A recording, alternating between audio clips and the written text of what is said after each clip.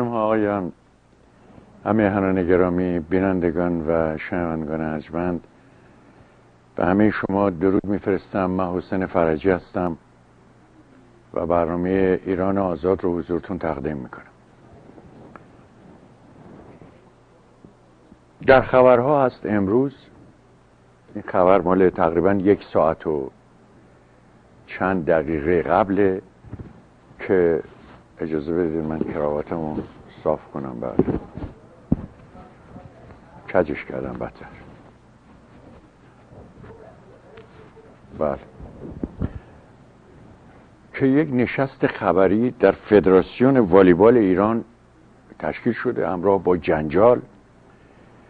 رئیس فدراسیون آقای داورزنی شروع کرده از پیشرفت هایی که در زمان ایشون انجام شده در این فدراسیون و علت اینی که چرا در مسابقات انتخابی برای المپیک لندن تیم ایران بعد از این همه درخشش در برابر استرالیا شکست خورد توضیح دادن. ولی ناگهان یکی از کارمندان خود فدراسیون بلند شده و گفته که من اسناد و مدارکی دارم که نشون میده در این فدراسیون چقدر دزدی میشه. و چقدر پول جابجا شده رئیس فدراسیون عصبانی میشه خبرنگاران دور اون آدم رو می‌گیرن. چون در امور ورزشی یه آزادی هست می‌دونید که. مثلا برنامه آقای فردوسی پور یکی از پربیننده ترین برنامه های تلویزیونی شاید در منطقه است. میلیون ها نفر برنامه فردوسی پور رو می‌بینن. من متاسفانه بعضی وقتا اونم در یوتیوب این برنامه رو می‌بینم چون ندارم این به اصطلاح تلویزیونایی که این برنامه رو نشون میده. ولی حرفای جالبی می‌زنه آقای فردوسی پور. حالا چی کار است و کیه و اینا؟ من کار ندارم. حداقل در مسائل ورزشی تونسته به اینا بقبولونه که آزاد باشه.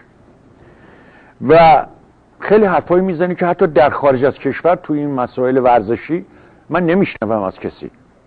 اگرم هست او خیلی محکمتر و خیلی کوبنده تر راجع به مسائل ورزشی صحبت می‌کنه و میلیون ها نفر برنامه رو می‌بینن.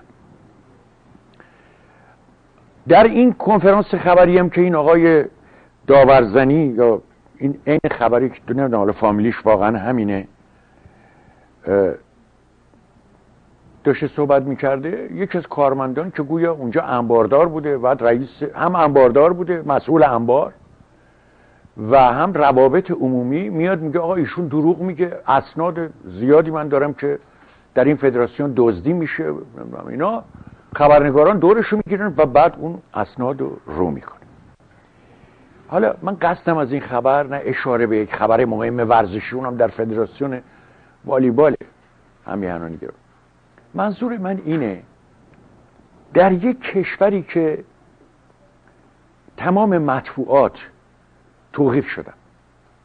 خبرنگاران بسیار ورزیده خبرنگارانی که من در روزنامه شرق در روزنامه نمی‌دونم سلام حالا منای خط سیاسیشون من کار ندارم. مسائل مربوط به امور اجتماعی مسائل مربوط به تاریخ ایران مسائل مربوط به رپورتاج های شهری. شما فوقلاده است این مطالب. من خط سیاسی رو نمیگم. بچه های جوونی که آمدن و درست در این شرایط حکومت شرور جمهوری اسلامی و روزخانه ها یک ژورنالیسم شسترفته بسیار زیبایی رو عرضه کردن.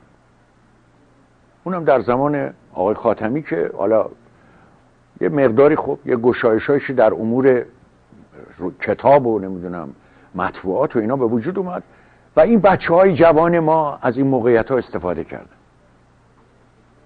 همه اینا رو همیانان گرامی بعد از کودتای انتخاباتی 22 خرداد سر، سرکوب کردن همه رو. یا زندانیشون کردن یا فراریشون دادن و یا خانه نشین کردن معلولشون کردن یا زندان. یک عده مزدور خودفروخته نمی‌دونم شکنجهگره عرازل اوباشی مثل به رهبری حسین شریعت مداری. شکنجهگر معروف. حسین سفار هرندی چاقوکش معروف. اینا رو ریختن توی مطبوعات خود فروخته و مزدور.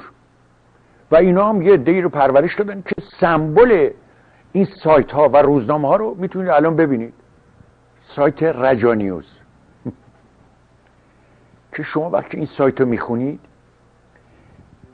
به بطن و ریشه این پی می‌برید که مگر امکان داره در یک کشوری یک روزنامه که کارش روشنگری هست افشاگری هست اشاره به نقاط ضعف دولت یا ارگانهای مختلفش تا این اندازه بتونه عراجیف و سرهم بکنه و از یک حکومت خونریز جنایتکار اینجوری دفاع بکنه.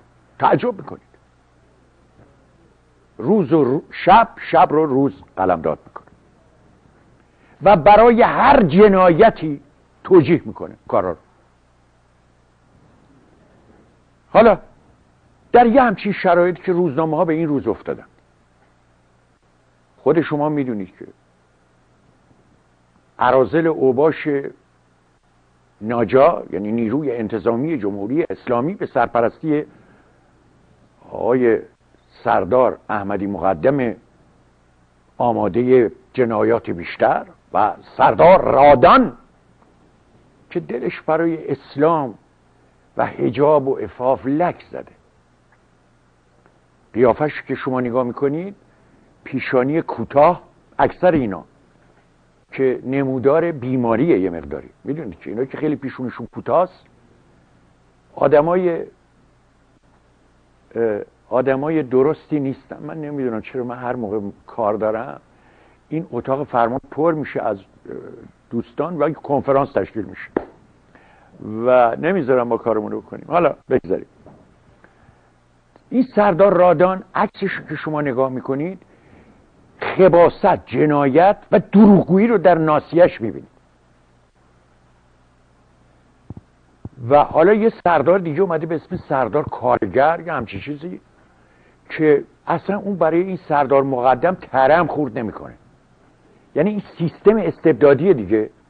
آدما رو میکاره بغل هم دیگه که اینا سعی بکنن در شقاوت در آدمکشی در جنایت در این به خصوص در رژیم جمهوری اسلامی استبداد دینی. کاری بکنن که دیگران رو اگر چنانچه کند رفتار می‌کنن. کمی کند رفتار می‌کنن بکشن به دنبال خودشون و جنایت بکنن همین چند روز پیش بود در برنامه هم گفتم که اینا ریختن توی پارک طالقانی. مردم داشتن راه می‌رفتن. ریختن در اونجا و این سردار رادانی عکسش خیلی خوشگله. این خیلی قیافش خوب نشون داده. بله. ریختن اونجا و شروع کردن شیشه های اتومبیل ها رو شکستن و آینه ها رو شکستن و مردم رو کتک زدن و که ببینید شما اینجوری فکر نکنید در حکومت در ام اسلامی شما می‌تونید راحت تو پارکا را برین و نمی‌دونم با دوستای زنتون و با همسرتون و با خواهر زنتون و خانوادگی بیان بگردید این خبرها نیست. در حالی که امت همیشه صحنه نگران بشار اسد جانیه و ما الان دلشوره برادران حزب الله رو در لبنان داریم. شما قشنگ تو خیابونای تهران راه میرین و لبخند می‌زنید تخمه میشکنید در اینجا شما باید زج بکشید. باید کتک بخورید زندان برید. باید باج بدید به رژیم. چرا؟ برای که طبق برآورد اقتصاددان های جهان از 6 نه روز دیگه روزی 90 میلیون دلار از درآمد ایران کم میشه. و درست همزمان با این چون این تحریم های نفتی اروپا شروع میشه. و پیش بینی می‌کنن کارشناسان که تولید نفت ایران و فروش نفت ایران درست یک میلیون بشکه در روز کم میشه. و 90 میلیون دلار در روز درآمد ایران کم میشه. از حالا هم فکرش رو رژیم کرده. چجوری؟ در کمیسیون امور اقتصادی مجلس یعنی طبیله مجلس یکی از این عرازل و اوباش راه حل جالبی رو پیدا کرده. گفته آقا برای اینی که افاف و هجاب اسلامی بیشتر مراد بشه در تابستان بیاین و جریمه ها رو ببریم بالا. شما تا به حال جریمه ها رو کم می‌کردین. شلاق می‌زدید و نمی‌دونم تعهد می‌گرفت. جریمه کمی می‌کردید مثلا صد هزار دویست یه میلیون اینا. اینا رو ببرید بالا بکنید دو میلیون سه میلیون چهار میلیون تا کسانی که افاف. افاف. هی روی من تیکه می‌کنم. خیلی اینا به افاف و حجاب اعتقاد دارن همین سردار رایی زاره ای رو دیدی؟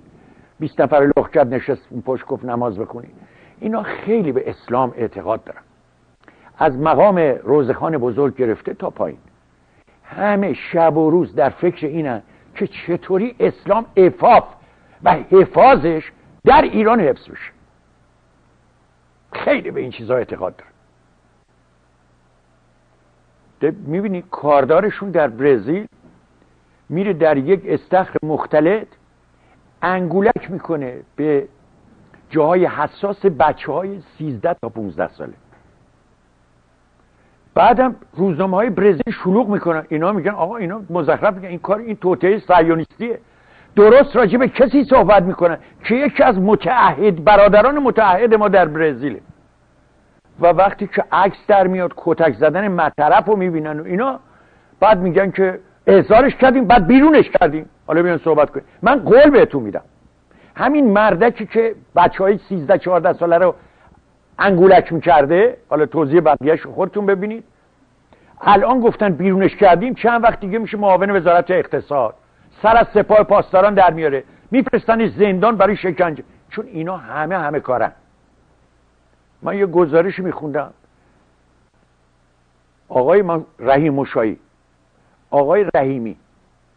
آقای احمدی نژاد میبخشید من اینا رو آقا خطاب می‌کنم. این ادب منه. این دلقکا همشون در سپاه دوران شکنجه هاشون گذروندن. عجیبه. میارم براتون. همشون جز سرداران اسلام بودن. و تعجب آور نیست در طویله مجلس. متجاوز از از این چهارصد و خورده ای نمی‌دونم وکلا هفتاد و هفتش درصد شاید هشتاد درصد این بار. یا از بیت روزخان بزرگ اومدن. یعنی اونجا پرورش پیدا کردن. سپاه پاسداران وزارت اطلاعات رؤسای زندان ها و سرداران بسیج و همین حرازل اوباش که زیر دست اون نقدی پرورش پیدا کردن. نگاه کنید اینا رو آوردن تو این طبیله مجلس. خب شما می‌خواین در این مجلس پیشنهادات که داده میشه این پیشنهادات به نفع مردم ایران باشه. پیشنهاد همینه. که یک نماینده میگه آقا برای حفظ افافه و هجاب اسلامی مردم رو سرکیسه کنید هم پول نفت در میاد هم آخوندا سفرهشون رنگین باقی میمانه. حالا ملت ایران بدبخت و بیچاره. خب اب نداره که. اب نداره که اینا. من الان خدمتتون میگم که کارگران شریف مملکت ما ده هزار کارمند ده هزار کارمند همین الان ببخشید ده هزار کارگر. ده هزار کارگر ایرانی. یه تومار امضا کردن از واحدهای مختلف تولیدی. خبر رو براتون می‌خونم. ده هزار کارگر واحدهای صنعتی پنج استان کشور در اعتراض به گرانی و ناتوانی در تأمین معیشت خانواده های خود توماری خطاب به وزیر کار و رفاه اجتماعی نوشتن و این تومار را ده هزار کارگر امضا کرد. کارگران کارخانه های داروشیشه مهرام فرش پارس هفت الماس این از جمله امضا کنندگان این تومار کارگران در این تومار از قانون هدفمند کردن یارانها به عنوان طرح قطع یارانها یاد کرده و خواستار افزایش حداقل دستمزدها بر اساس تورم واقعی کشور شده. به گزارش ایلنا رونوشت این تومار برای مجلس و نهاد ریاست جمهوری فرستاده شده. در این تومار آمده همانطور که همگان می‌دانیم و بر آن آگاهیم از یک سال و نیم پیش با آغاز فاز اول تحریقت یارانه ها اقلام و کالاهای اساسی زندگی زندگی چندین برابر افزایش قیمت داشته و این در حالی است که در طول این مدت میانگین دستمزد کارگران روی هم در سال 90 و سال جاری نسبت به سالهای قبل از اجرای فاز اول قطع یارانه ها حتی کاهش نیز پیدا کرده است. و علاوه بر آن در طول این مدت با اعمال چهار و سپنج پنج درصدی مالیات بر ارزش افزوده بر کلیه کالاهای مصرفی عملا حدود پنج درصد از دستمزد روزانه زیر خط فقر ما کارگران به خزانه دولت سرازیر شده است. این همین عنانی گرامی آخوندا باید سفرشون پم باشه. پنج هزار کارگر. پنج هزار ببخشید متخصص. در آذربایجان غربی بیکار میشن. ده هزار تا آخوند از قوم میان شغل می‌گیرن در ایران. میگن سی هزار مسجد پیشنماز نداره نمی‌دونم متولی نداره. مردم گرست باش. کارگران زیر فقرن باشن. شرف اینا رو می‌بینید یه زندانی رو بردن سالم. کلیش رو خراب کردن. قلبش رو خراب کردن. بیمار و علیل و زلیلش کردن. بردنش تو بیمارستان. روزی پنج برابر درآمد خانواده دارن از خانواده پول می‌گیرن. پول خرج بیمارستان. خوشتون میاد. هیچ دولتی رو در دنیا دیدید با شرف اینا. سه تا برادر و یه پسرمو رو دیروز در خوزستان اعدام کردن. هیچ فکر کردن. آخه بابا اینا خانواده دارن اینا مادر دارن اینا پدر دارن. به اسم اعراب ساکن خوزستان. جرمشون شرکت در تظاهرات. اسلحه داشتن؟ نه. بم داشتن؟ نه. دست به اقدام مسلحانه زدن؟ نه. خانواده اینا نوشتن آقا نه اجازه وکیل نه هیچی. آخه چطوری سه نفر از یه خانواده ای رو چهار نفر اعدام می‌کنی؟ براتون گفتم که در اوایل انقلاب چی الان هم هست؟ از یه خانواده چند نفر هموطنان باهایی ما اعدام کردن مادر رو ول کردن.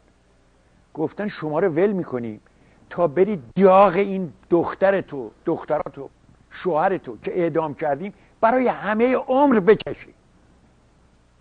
شما یه همچین شرفی رو در هیچ حکومت وحشی دیدید این سباییت و شرف که چی بگم دیگه؟ برعکسش رو دارم میگم. این کنفرانسی که در لندن به زیبایی داره برگزار میشه. کنفرانس نه این محاکمه. پیام اخوان آقای صدیق اینا که امروز هم اتفاقا با دکتر مسعود نقرکار راجع به این موضوع صحبت می‌کنه. هزار نفر از خانواده های اینایی که از بین سال 60 و 67 شهید شدن آمدن دارن فرق نمی‌کنه همین الان دارن. تو رو به خدا من دیشب در برنامه هم گفتم نگین این مجاهده اون تودهی اون رهبران توده رو نمیگم. این فدای خلق اون سلطنت طلب اون ملی بس کنیم دیگه اینا رو. بذاریم اینا رو به تاریخ و بذاریم به قضاوت دادگاه های آینده. الان مشکل ما یک حکومت خونریز وحشیه. همون فیلمی که پریروز براتون نشون دادم میمون ها ساکن شدن بر کره زمین. همینه. بر میهن ما یه عده وحشی میمون صفت حاکم شدن. بکشن شکنجه بدن آزار بدن. دروغ بگن. دروغ بگن. رئیس جمهور بلند شده رفته به برزیل. آقای داسیلوا که قبلا رئیس جمهور بود حدود چهل میلیون روابط اقتصادی ایران و برزیل بود. آقای داسیلوا اومد با کمک آقای اردوغان در ایران. دست احمدی نژاد هم گرفتن بلند کردن. قبل از اینکه بیاد گفت آقا من مجانی که نمیام که. برای اینکه به شما اعتبار بدم. می‌بینید حکومت رو ببینید. در نتیجه آقای داسیلوا و آقای اردوغان هر دوش موزشون رو گرفتن. قراردادهای چرب و نرم با جمهوری اسلامی بعد اومدن دست همدیگه رو گرفتن بلند کردن که بعد هر دوشون هم زدن زیرش. آقای داسیلوا چهل میلیون دلار روابط اقتصادی ایران و برزیل رو کرد یک میلیارد و درست شنیدید. یک میلیارد و چهارصد میلیون دلار. آقای احمدی نژاد باج داد. بعد اومد دست احمدی نژاد رو بلند کرد. گفت بله ما پیشنهادات جدید برای نفت آوردیم. بعدم همش رو آب بود. آقای اردوغانم که دیدی چی گفت؟ الانم روابط ایران رو با ترکیه رو می‌بینید که به کجا رسیده. علنا اردوغان داره میگه باید بشار اسد سرنگون بشه. در حالی که جمهوری اسلامی میگه خط قرمز ما سوریه است و بشار اسد. حالا این بلند شده رفته. خانم راسوف شده رئیس جمهور برزیل. زنی که از جناه چپ برزیل اومده زندانی بوده جزو میلیشاهای برزیل بوده. این جالبه. و حالا در یک سنین میانجین معتدل شده ولی افکار چپ شده داره. مردم برزیل بهش رأی دادن. بعد از داسیلوا از دوستان داسیلوا آمد. منتها افکار اون نداره. قبل از اینکه احمدی نژاد بره تظاهرات شدید. این خانم داسیلوا روسوفه تظاهرات شدید در برزیل بر علیه احمدی نژاد. که آقا یه جانی داره میاد اینجا. این ملت خونشون رو به شیشه کرده. این در کودتای دو سال پیش از عوامل سرکوب بوده.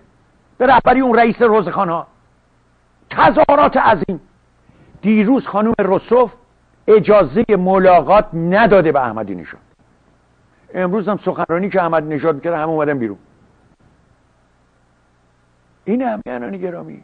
اینطوری نیست که اینا خیال این دروغا رو سرهم می‌کنن خیال می‌کنن هر جا میرن البته رفته مثلا بولیوی رفته نمی‌دونم بله بولیوی رفته و یکی دو جای دیگه. اینا که پول می‌گیرن از اینا ازش براش کت نگاه کنید این تظاهرات برزیلی. بفرمایید ببین چیکارش کرده.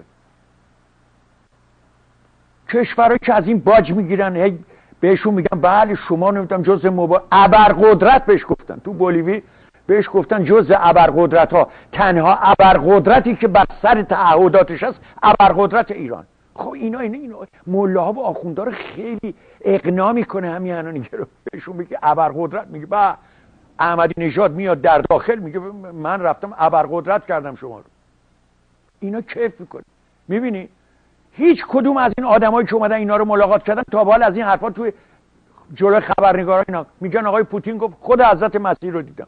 آقای رئیس روزخانه رو دیدم طرف یه خود گرب ملاب به خودش می‌زنه و این ریشا رو نمی‌دونم چیکار می‌کنه یه خود براق می‌کنه و یه نور بهش میدن دیدی که تو ماشین. میاد اونجا میگم پوتین تا دید گفت آقا خود مسیح بود. اردوغان دید شروع کرد گریه کردن گفت من نه به عنوان رئیس نخست وزیر ترکیه بلکه به عنوان یه مرید شما آمده. زن و دخترش همش گریه کردن. گفتن آقا ما مرید شماییم. آقای رهبر آفریقای جنوبی ماندلا گفت رهبرم. دلشون خوشه به اینا. دلشون خوشه به این حرفا. دوره ببینید چه خبره. 18 نفر از همیهنان ما رو در عربستان سعودی گردن زدن. گفتن آقا اینا هشیش آوردن. به وزارت خارجه همین روزنامه قلابی خودشون گفتن آقا دارن می‌کشن اینا رو. هشتاشون رو کشتن ده تا دیگر می‌خوان بکشن. گفتن نه ما مذاکره کردیم تموم شد. دیروز وزارت خارجه اعلامیه داده در ایران که آقا این سعود الفیصل وزیر خارجه عربستان سعودی دکتر صالحی رو وزیر امور خارجه رو گول زده. درست همون موقعی که گفته ما به پرونده های اینا مجددا رسیدگی می‌کنیم همه رو گردن زده چرا این کارا رو کردن؟ اینا اعتراض کردن. این روش غیر انسانیه. خب شما که در منطقه از نظر روش غیر انسانی کت جهان رو بستید. این چهار تا سه تا برادر رو یه دونه پروندهتون الان در لندن رو شده. در عرض شش سال هفت سال متجاوز از شانزده هزار اسمی که در اومده. حالا منای اونا که اسمشون ترسوندی نیشون شونزده هزار انسان رو کشتید. یه فیلم بی بی سی دیشب من پخش کردم. راجع به گزارش همین کنفرانس که در لندن هست. دلم می‌خواست یه قسمتش اگر سامان امکانش پخش بکنه. تو برنامه دیشب هم بود. کنفرانس همین کنفرانس که الان در لندن داره برگزار میشه. ببینید چه بچه های خانواده های این زندانی ها چی میگه. تمام مدت درست قوه چیز اجرایی نداره این دادگاه. ولی این دادگاه مثل همون جاییست که برتران راسل راجع به جنگ ویتنام اومد صحبت کرد. و آمریکا رو در از درون منقلب کرد. هزاران میلیون ها آلمانی ریخت آمریکایی ریختن تو خیابون ها بر علیه جنگ ویتنام. این نتیجه کنفرانسی بود دادگاهی بود که بتران راسل در اون زمان در لندن به وجود آورد. این فیلمی بود که از طرف بی بی سی پخش شده و ما با, با علم به این که مال بی بی سی من براتون پخش کردم. تو ببینید صحنه چی؟ اتفاقا بحث من امروز با دکتر مسعود نقره کارم راجع به همین دادگاه سمبولیک در لندن. کار بسیار خوبی همین هر کاری که در جهان. برای اولین بار ما دیدیم سازمان های مختلف با هم آمدن نشستن بدون اینکه قور بزنن به هم دیگه. از چپ چپ تا راست راست نشستن. و در این جلسه اون جنایاتی که اینا در حق مردم ما کردن با افکار مختلف آمدن رو کردن. این خیلی خوبه. ای کاش حداقل ما در سایر مسائل که روشنگری می‌کنی این حسنیت رو داشته باشیم با هم دیگه. دکتر نورکار عزیز درود بر شما. بله درود بر شما و بینندگان محترم برنامهتون. دکتر نقرکار دیدید این فیلم رو نمی‌دونم که الان ما پخش کردیم. من تا حدودی شنیدم بله ولی نه هنوز متاسفانه کامل ندیدم. سامان جان یه عکس دیگر دکتر نقرکار برای ما فرستادن امروز اگه امکان داره اون از اون عکسشون هم استفاده بکنید. حالا دکتر نقرکار سوال من راجع به همین دادگاه سمبولیک از شما. شما نظرتون چیه راجع به این دادگاه؟ بله. ببینید من قبل از اینکه به این دادگاه اشاره بکنم و اهمیتش می‌خواستم اگر اجازه بدین به یک نکته اشاره بکنم و اون اینکه من شنیدم و به خودم هم گفتم یعنی از برخی از برنامه سازان تلویزیونی شنیدم که حکومت اسلامی نقض حقوق بشر در واقع کار یومیش هست مثل اون نماز یومیه حضرات.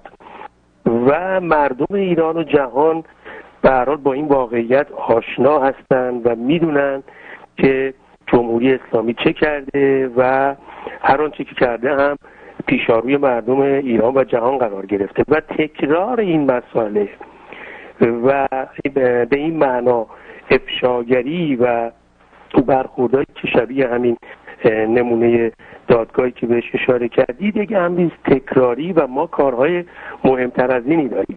من اینو چندین بار طی هفته های گذشته هم عرض کردم از برنامه سازان تلویزیونی متاسفانه و هم برخی از دوستانم شنیدم. به نظر من این دوستان متوجه اهمیت و جایگاه این نوع روشنگری ها و افشاگری ها نیستند کار افشای جنایت های حکومت اسلامی و خواست محاکمه سران این حکومت در دادگاه های بین المللی یکی از مهمترین شاید هم بشه گفت مهمترین وظیفه اپوزیسیون در خارج از کشور است. بله. چرا؟ به بگمان من برای اینکه این مسئله کمک بزرگی است به پروسه تحقق آزادی و دموکراسی در میهنمون افشای این جنایت ها و روشنگری درباره این جنایت ها و گام های بعدی می‌دونید که سرشت و ماهیت حکومت اسلامی رو بیش از اون چیزی که تا بهار مرملا شده بر ملاتر خواهد کرد. یعنی در واقع سرشت و ماهیت پدیده ای رو برملا می‌کنه که از موانع اساسی و اصلی تحقق دموکراسی در جامعه ماست.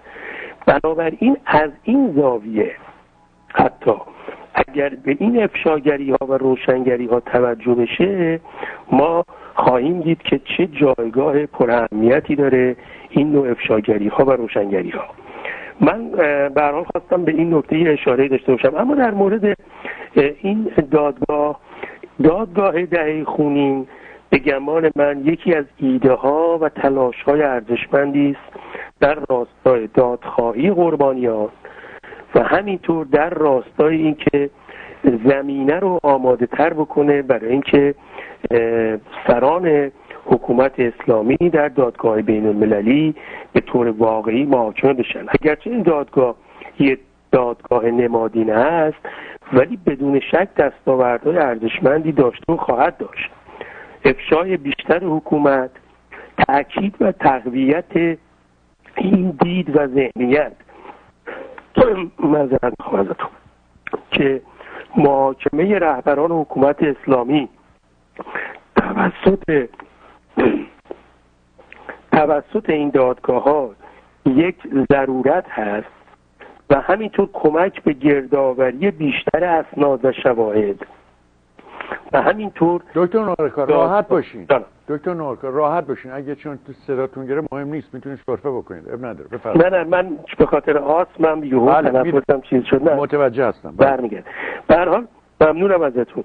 به هر حال نه اینکه این دادگاه می‌تواند نقش یک کمیسیون ویژه حقیقت یاب و دادخواه رو هم ایفا بکنه با توجه به این مسائل و این دستاوردها به گمان من این دادگاه یکی از ایده ها و اقدام های ارزشمند و به گمان من منشأ اثر و اثرگذار خواهد بود برای آنچه که من به اهمیتش قبلا اشاره کردم.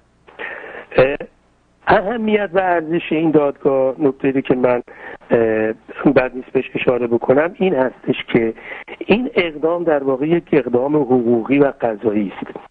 و واقعیتش این هست من که دنبال می‌کنم می‌بینم هیچ سمتگیری و گرایش سیاسی خاصی تلاش نمیشه که سایه بندازه روی فعالیت این دادگاه و کسانی هم که این جریان رو راه انداختن در واقع تلاششون این است که جلوگیری بکنن از سمتگیری ها و گرایش های سیاسی.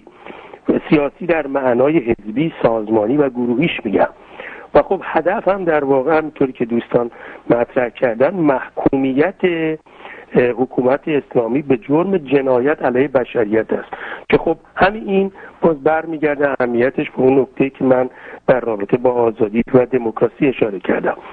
می‌دونید که ما واقعیتش این هست که سازمان ها بنیادها و تشکل های مختلفی در خارج کشور داریم که اینها در رابطه با امر زندان ها شکنجه تجاوز اعدام و همینطور مسائل خانواده زندانیان فعالیت می‌کنن و فعالیت هاشون هم به گمان من ارزشمنده. ولی کن برخی از اونها واقعیتش این هستش که یک گرایش های خطی و سیاسی نیست بر اونها غالب هست یا در اونها حضور داره. به همین خاطر هست که من فکر می‌کنم این دادگاه با دوری کردن از اون ویژگی و دور بودن از اون ویژگی و اینکه یک اقدام صرفا حقوقی و غذایی است می‌تونه خیلی موثر باشه و می‌تونه خیلی مورد توجه واقعا ایرانیان و مجموعه اپوزیسیون خارج کشور و محافل بین المللی قرار بگیره. دکتر نقرکار عزیز من یادم چند سال قبل حالا علاوه بر این که من در یعنی حدود یکی دو سه سال بعد از سه سال چهار سال بعد از انقلاب من که در رادیو آلمان فعالیت می‌کردم و در اونجا مطلب می نوشتم روزانه من یه تفسیر می نوشتم که بعدا جلوی من گرفتن گفتن اجازه نداره بنویسی. چون راجع به ایران می نویسی و صحبت هایی که می کنی مطالبی که می نویسی با سیاست های صدای آلمان همخانی نداره و به همین دلیل منو ممنوع قلم کردن. حالا این گذشته. من در اون نوشته های خودم و در اون گفتارهای خودم به این موضوع اشاره کردم. همش هستش. همش آشیب شده است. که اگر چنون که ایرانیان تازه شروع کردن اینا به کشتار همون کشتارهای اولیه که به اسم این که اینا نمی‌دونم از عوامل دولت رژیم گذشته هستن بعد شروع کردن از میلیون و مجاهدین و شروع کردن کشتار. بعد ترکمن صحرا و کردستان اینا اعدامایی که خلخالی جانی انجام می‌داد. من یادمه گفتم که آقا به خاطر اینی که اینا دست از این کشتارها وردارن. و این موضوع یه سوژه جهانی بشه برای اینکه بیاد از این حالت. ما بیایم و ایرانیایی که در خارج از کشور تا اون موقع تعدادشون زیاد نبود. بیایم وکلای بین المللی بگیریم و کمک بکنیم ایرانیای خارج از کشور از داخل هم می‌تونن یده کن. اون موقع هنوز اینجوری دیگه به اصطلاح همه راه ها رو نبسته بودن. بیایم وکلای بین المللی بگیریم و این وکلا این مسائل و این جنایت که اینا می‌کنن منعکس بکنن در سطح جهان و شکایت بکنن. بعدها خب اینه هی تکرار کردم و زمانی که دیگه اینا دست به جنایت خارج از کشور زدن. این. و حالا نمی‌خوام بگم این ایده مال من نبود تنها خیلی ها بودن که این فکر بودن. ولی واقعا زمان خیلی گذشت و ما خیلی دیر به این فکر افتادیم ولی خیلی خوبه. الان خیلی خوبه. هر کس در این راه قدم برداره. از هر نیرو می‌خواد باشه. از هر به اصطلاح پوزیسیون از هر سازمانی و عقیده من بسیار بجاست و خوبه و باید تاییدش کرد. برای اینی که بتوانیم ما اینا بدونن. این کشتارها عاقبت نداره. اینطوری نیست که شما همطور آدم بکشی همطور کشتار بکنی همینطور مردم رو با دروغ برداری دادگاه های دو دقیقه و سه دقیقه تشکیل بدی. بعد بیای لباس اصلاحچی تنت کنی بشی مثل آقای موسوی تبریزی. و خیلی از این جانی دیگه. بعدم شروع کنی از آزادی مثل خلخالی. که شده بود اصلاحچی و شروع کنی از آزادی دفاع کردن. همینطور که آقای موسوی تبریزی این جانی که در آذربایجان دادگاه های دو دقیقه تشکیل می‌داد دادگاه سینما رکس رو تشکیل داد. اینجانی حالا شده جز کسانی که برای آزادی سینه می‌زنه. باید نقش اینا رو بشه. باید این آدم ها شناخته بشن. باید مرتبا اسامی اینا تکرار بشه و جنایت کردن. من در این مورد سوالم از شما اینه که درست فکر می‌کنم؟ کاملا من اشاره کردم آقای بله بله. اهمیت یعنی ایده های روشنگرانه و اقدام های افشاگرانه در این رابطه ما هر آنچه هر آنچه انجام بدیم یعنی بدون اغراق اگر صد برابر آنچه که الان هست ما انجام بدیم باز هم در برابر ابعاد جنایتی که حکومت اسلامی مرتکب شد باز کم میاریم. درسته. یعنی ابعاد جنایت به قدری بود که ما هنوز زوایای بسیاری و واقعا جنایت های پنهانی رو نمی‌دونیم و واقع به تازگی داریم با برخی از اونها مواجه میشیم. بنابراین ما میباید این فعالیت ها رو ادامه بدیم. همونطور که گفتیم فرقم نمی‌کنه. هم آقای گنجی یه تلاشی کرد نامه به اون کمیساریای عالی در واقع حقوق بشر سازمان ملل یادتون هست نوشت امضاهایی جمع کرد تلاشهایی کرد. خب البته در نیمه را متوقف شد و هم الان هم می‌بینیم آقای رضا پهلوی هم تلاشایی می‌کنه و یا دیگران. به گمان من همه اینا اهمیت داره باز هم کم باید انجام داد. منتها نکته ای که در رابطه با برای مثال آقای پهلوی یا گنجی یا بعضی از این شخصیت ها و چهرهای دیگه وجود داره. این هستش که یک مقداری اونها چون گرایش های سیاسی و خطی و عقیدتی با این مسئله قاطی میشه یه مقداری ارزش کار اونها و تاثیر کار اونها رو کمرنگتر می‌کنه. اگر تلاش بشه که فاصله گرفته بشه از گرایش هایی که من بهش اشاره کردم مثل این دادگاه دهه در واقع خونی تلاشش این هست. اگر فاصله گرفته بشه و به عنوان یک اقدام حقوقی و قضایی مطرح باشه تأثیرش بیشتر خواهد بود و محافل بین المللی هم بیشتر بهش نزدیک خواهد شد. در هر حال به گمان من کاملا درست میگید. ما هنوز هم جا داره توی رابطه فعالیت کنیم و نه تنها برای اینکه واقعا نشون بدیم حکومت اسلامی چه حکومت بر جنایتکاری بوده و هست و اگر باشه خواهد بود به دلایل سرشت و ماهیتش. بلکه من همونطوری که اشاره کردم این روشنگری ها و افشاگری ها تأثیر گذارن در تحقق اون پروسه آزادی و دموکراسی در جامعه ما.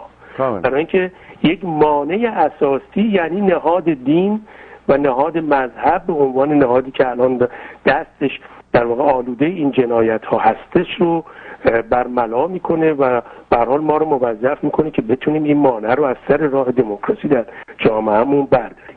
خیلی سپاسگزارم دکتر نقرکار گرامی. تا هفته دیگه که باز با هم دیگه صحبت می‌کنیم. ممنون از شما. من هم از شما تشکر می‌کنم. خب همین گرامی یه چیز جالبی که می‌خواستم خدمتتون بگم نتیجه انتخابات مصر.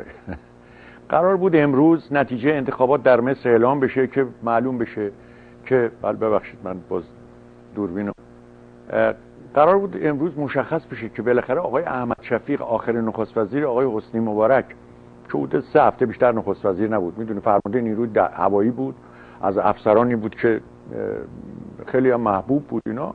بعد آمد در کاراش خیلی موفق بود اینا ولی سه بوده سه هفته نخست وزیر بود. بعدم که خب منجر شد به سرنگونی رژیم آقای مبارک. ایشون جز کاندیدایی بود که دور اول انتخابات برنده شد با آقای محمد مرسی اومد به دور دوم. انتخابات قرار بود نتیجهش امروز اعلام بشه. آقای محمد مرسی نماینده غیر مستقیم اخوان المسلمین دو روز بعد اعلام کرد بنده برنده شدن با 52 درصد. حالا چه جوری؟ نظر خودش آقای احمد شفیق هم دو روز یه روز بعدش گفت من با 62 درصد موفق شد این محافل غیر رسمی غیر وابسته به اخوان المسلمین. میگن که از تعداد آرا اینطوری مشخصه که آقای مرسی برنده شده. ولی هنوز رسما اعلام نشد. و قرار بوده که امروز گفتن تعداد شکایت چون زیاد بوده. بنابراین نتیجه یکی دو روز شاید یک هفته دو هفته هم بیفته عقب. امروز اعلام نشد. اما من چیزی که می‌خواستم جالبه اشاره کنم مصاحبه است که آقای محمد مرسی با مطبوعات عرب کرده در مورد ایران. می‌دونید که آقای رئیس روزخانه ها مرتبا داره میگه که این انقلابات مردمی و اسلامی که داره در منطقه انجام میشه اینا کپی برداری از انقلاب سال 57 در تونس که آب پاکی ریختن رو دست این آقا.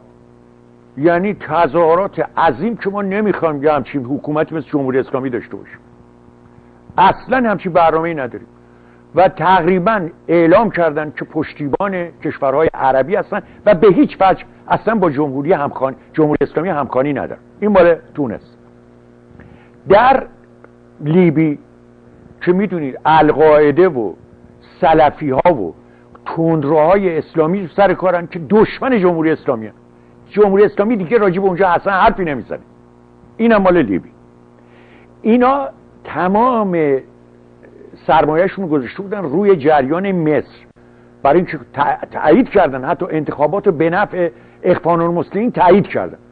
دیروز آقای محمد مرسی گفت بنده ملاقات اصرار مکرر کاردار سفارت جمهوری اسلامی در قاهره رو. برای اینکه باش ملاقات کنم رد کردم. گفتم من ملاقاتی با شما ندارم. و این جالب اینو تابناک نوشته با روزنامه سایت جمهوری اسلامی. مال آقای محسن رضایی. ایشون گفته ما به اتحاد عربی در منطقه اعتقاد راسخ داریم. این جالبه که آقای محمد مرسی برای آقای شاهزاده نایف که همین چند روز پیش فوت کرد برادر ولیعت عربستان سعودی که در قاهره مراسمی تشکیل شده و رفت اونجا. علاوه بر او اکثر سران اخوان المسلمین رفتن ادای احترام کردن به ملک عبدالله پادشاه سعودی. و امیدشون این هست که در آینده عربستان سعودی یکی از کمک کنندگان به مصر باشه. و خطکشی کردن در مورد جمهوری یعنی دیروز آقای محمد مرسی گفت نه با بشار اسد نه با حزب الله لبنان و نه با جمهوری اسلامی. بعد از اتحاد عربی هیچ نوع معاشرتی با اونه ندارد. و روزنامه های ایران با عصبانیت با این موضوع برخورد کردن. که آقا نگاه کنید اینا رو. بنابراین روزخان بزرگ اینجا هم بازی رو باخته. آقای بشار اسد با امروز یه خلبان خب زیر خبرها میاد مرتب ببینید یه خلبان سوری با هواپیما رفته اردن و خودشو تسلیم کرد. یعنی دیگه این مردک افتاده سرپاینی می‌بینید که مرتبا دوره بریاش دارن در میرن مثل دوره غذافی. همیشه اینطوره. دیکتاتور وقتی به سقوط می‌رسه دوره بریاش اولین کسانی که فرار می‌کنن دوره بریاش چرا؟ برای اینکه اونا دنبال قدرت نه طرف. طرف که قدرت نداشته باشه یه آدم معمولی زیر معمولی هم هست. مثل رئیس روزخانه شما فکر کنید فردا بگن آقا ایشون کاری نیست. و در خطر کشتنه. در خطر نمی‌دونم سقوطه. حالا کشتنه. در خطر این است که از کار بیفته. همین سپاه پاسداران همین آخوندهای دیگه بگن آقا ایشون نمی‌شد بندازنش. من قول به شما میدم. نزدیکترین کسانش اصلا بهش نگاه نمی‌کنه. این همیشه خاصیتش. یک برنامه بزرگ داشته به مناسبت 130 امین زاد روز شادروان دکتر محمد مصدق در شهر کل شهری که من 37 سال درش زندگی کردم. در این به اصطلاح می‌بینید که روی تابلو اومده بخش اول خوش آمدگویی سخنرانی ها نعمت آذر مسعود بهنود ناصر گل کاخساز سویلا ستاری علی اصغر سلیمی فرشید یاسایی. بعد نمایش دکتر مصدق چگونه آفریده شد گفتگوی با کارگردان و بازیگر نقش مصدق در این نمایش سپاسگزاری از کوشش های هنری رضا علامزاده کارگردان سپاسگزاری از کوشش های هنری بیژن شاه مرادی تهیه کننده سپاسگزاری از کوشش های هنری ناصر رحمانی نژاد بازیگر نقش مصدق نمایش بخشی از فیلم بزرگان ایران. زمان اول ژوئیه 2012 میلادی یازدهم تیر ماه 1391 خورشیدی بعد بخش نخست ساعت چهار تا شش بعد از ظهر بخش دوم شش پنج و نیم پنج و یا شش و نیم تا هشت شب مکان سالن کاریتاس در شهر کار. امیدوار هستم که دوستانی که در اونجا هستن در این مجلس بزرگ داشته شادروان دکتر محمد مصدق شرکت کنند. سپاسگزارم هم میهنان گرامی که به برنامه من توجه کردید تا برنامه آینده خدا نگهدار زنده باد آزادی پاینده ایران